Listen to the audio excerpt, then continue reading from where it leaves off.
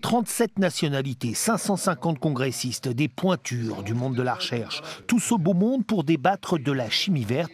Cela mérite tout d'abord une définition.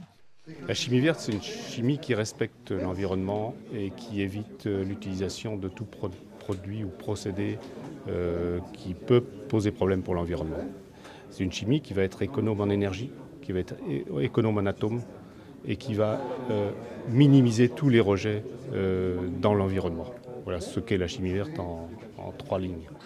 En clair, une chimie plus propre qui soit s'appuie sur de nouveaux procédés, comme par exemple les biotechnologies, soit vise à améliorer les pratiques existantes. L'Américain Paul Anastas est le créateur du concept de chimie verte. Il se veut résolument optimiste sur les découvertes à venir et surtout refuse d'opposer écologie et économie. La grande puissance et le potentiel de la chimie verte, c'est de pouvoir mener de front simultanément les objectifs économiques et environnementaux. Au lieu de se demander combien la protection de l'environnement va coûter, la question c'est maintenant comment ces innovations vont accroître les profits. Ainsi, de nouvelles sociétés se créent, les trusts classiques se lancent aussi dans l'affaire.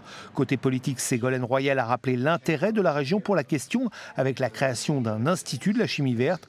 Petit bémol toutefois, malgré la débauche d'énergie et d'innovation, cette chimie dite durable ne représente pour l'instant qu'entre 5 et 10% de l'activité chimique dans le monde.